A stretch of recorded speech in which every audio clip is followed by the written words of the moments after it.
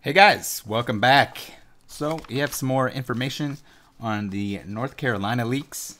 Uh, for those who are maybe mixed up a little bit with all these leaks from here, there, everywhere. Um, this is the packs that were put up on eBay, the sealed packs.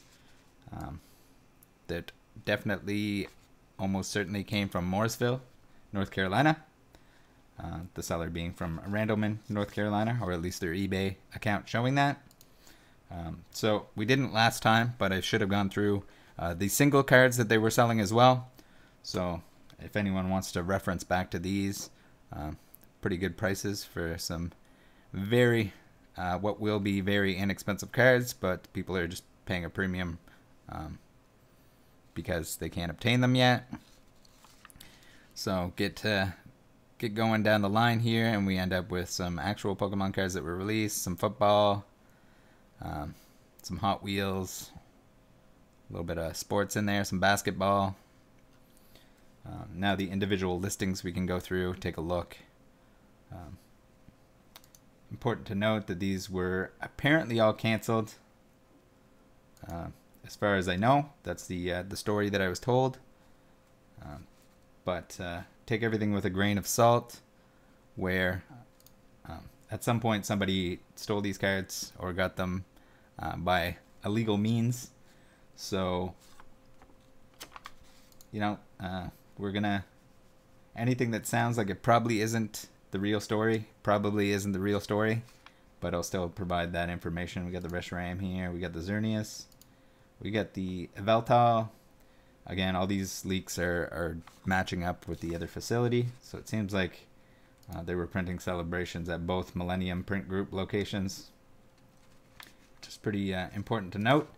Um, the latest information, uh, mostly coming here from Pokemon Legends TV on Instagram and Pokemon Legends on YouTube.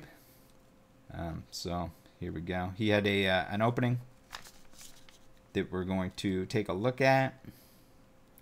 Um, and he's posted some uh, some cards that we haven't seen yet. So maybe we'll open that up, and then uh, I'll go through the the information at hand. Let's see here. Here we go. Movie time. Uh, so this is a YouTube video that Pokemon Legends posted. Um, maybe we'll just mute this and I'll go through the details as it plays in the background and I'll try and stop it at the uh, important parts. So basically we're dealing with this same eBay seller. This is the uh, the source for these four booster packs uh, that we see on screen uh, in this opening. Uh, those came from that 285 BSD person uh, who whose name has not been disclosed. apparently Pokemon Legends was not given their name. Um, it was a, sort of a secret, secret meetup, secret transaction. That wasn't really a transaction, but it was kind of a transaction. Um, so both of them being from North Carolina. Uh, so all right, the uh, the eBay listings. Let's start with those. Those were opened. Uh, I guess he canceled the listings, refunded the buyers, opened them himself. The uh, the 285 BSD individual. Um, opened all of them except for four that were given to Pokemon Legends. Um, it, it, sounds like there was some sort of trade for football cards involved. So um, Pokemon Legends must have offered or given him some some football cards in exchange. Uh, and also, according to Pokemon Legends, because he helps people get new product, so I guess the good deeds were a good reason to um, provide Pokemon Legends with these packs. Um, also, 285 BSD apparently got nervous uh, because, as Pokemon Legends stated, someone was posing as an investigator. Uh, I thought this too at first with uh, the Instagram account that contacted me. Um, it looked like someone just made a burner account uh, posing as a private investigator but the more I looked into it, the more it seems like it actually is. Um, I still don't know exactly if Millennium Print Group hired this individual or this individual is looking for information uh, to then pass along to Millennium Print Group, perhaps in exchange for uh, monetary compensation. So, uh, not sure. I would imagine that this same person uh, was the one that met uh, with Brandon outside of his place of work. Um, if not, maybe somebody from that same organi- organization um, made a call. Though it would be kind of weird to have two different people on um, the same case. Although where there's two different print groups that are leaking cards, um, maybe maybe that calls for it. Uh, hard to uh, be in both places at the same time where they're pretty spread out. Uh, so far, no one has contacted Pokemon Legends. I'm sure they might eventually, uh, seeking information as to uh, the whereabouts or uh, information from the person they received it from. So, uh, as far as I know, from what Pokemon Legends has told me, he opened these cards and he shipped them all to other YouTubers and fans. So he no longer has any cards. Um, his words. Uh, apparently, all over the place uh, Nevada, Miami, Australia, Hong Kong. I don't know uh, if there's other locations other than that, but that's just what he uh, kind of tossed at me. Um, also, there is a big YouTuber, or big po- Pokatuber, who is going to receive one of these cards. Um, I can't say who or which card, just because uh, as per our agreement where Pokemon Legends was giving me information for my story, um, that was something that I, I'm not able to disclose as part of our agreement. So let's talk about the meetup itself, which is certainly interesting. Um,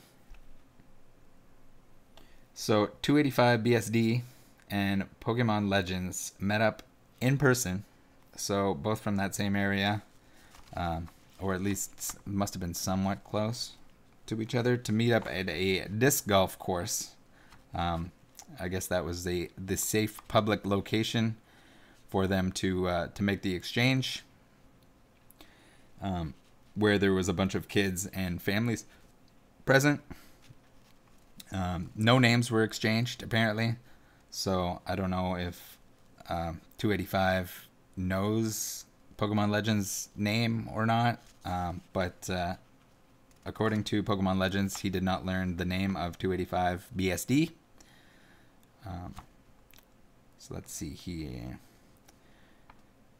The I guess the flea market details would be good to go into. Um, these are word of mouth from what Pokemon Legends was told by 285 BSD. Uh, apparently, the person at the flea market uh, for the record, I don't believe the flea market story at all. Um, whether that happened or not, maybe. Maybe the person at the flea market got the cards and then passed them along. Maybe 285 BSD, who seems really scared for somebody that wouldn't necessarily be guilty. Um, maybe he either took the cards from work, took the packs from work, or maybe he got them from somebody that took them from work. So he, he could have a closer tie than we think, uh, especially with how skittish he's been. Um, so this is the supposed details from the flea market, um, which I find is an unlikely unlikely story, but we're, we'll uh, we'll include the details regardless. Thirty dollars a pack is what the person at the flea market was charging, and apparently two eighty five purchased 100 Darkness Ablaze booster packs, a bunch of old sports cards, and the celebrations packs. So nothing notable other than those uh, celebrations packs. Uh, and when 200, 285 BSD asked about celebrations, the seller smiled and changed the subject, apparently. Um, now, there's this weird um, agreement where Pokemon Legends is going to later meet up with 285 BSD uh, once the set is released. A celebration set is released, where they plan to exchange names and split a box on Pokemon Legends. Is going to purchase a box and they're going to split it, I guess, as sort of a uh, I don't know if that's like a celebration for celebrations. Interesting, nonetheless. None, nonetheless, I guess. So let's uh, let's go through the video here. Uh, there's for the most part, it's uh, pretty standard stuff. Uh, everything that we've seen already. The Kyogre, the Reshiram, the Groudon, the Flying Pikachu V. Once we get up here a little bit further, we got the Yveltal. We've seen him. We've seen the Dialga. So this is interesting here. The Professor's Research full art, which hadn't been revealed until this point. Um, so that's a first look at that. Maybe we'll uh, we'll go through here. The Professor's Research full art. So I was a little bit skeptical when I first saw a picture of this. Um, it looked, it was blurry, as the pictures always are, but it was probably just pulled from this video. Uh, someone took a, a really crappy screenshot and or blew it up. Um, but yeah, it uh, it is a real thing and we hadn't seen number 24 to 25, so it kind of makes sense. It's weird to see um, the secret rare be 25 out of 25, but it's a weird 25 card set, so it uh, sort of is whatever it is. Uh, next up, I think at uh, we're just gonna see some more cards here that we've seen already. But once we get up to uh, right here, we have the Clay Doll into a Mew that wasn't revealed yet. Which is another interesting one. Number 11 out of 25. So where these were missing from the other the other leaks. Uh, this is a, a first look at those two cards. I guess the only other real thing of importance um, is up here at a minute and 22. We have the uh, UKCA on the pack here, uh, which wasn't a thing uh, when these packs were received, um, but are a thing on Evolving Skies. So just like a, a new new thing that they did. Just an empty evol evolving skies. Um, previous sets of Chilling Reign and stuff like that just had the CE on the back. So kind of neat there that um, that was sort of spoiled. It's not a very exciting spoiler, but uh, that came out beforehand.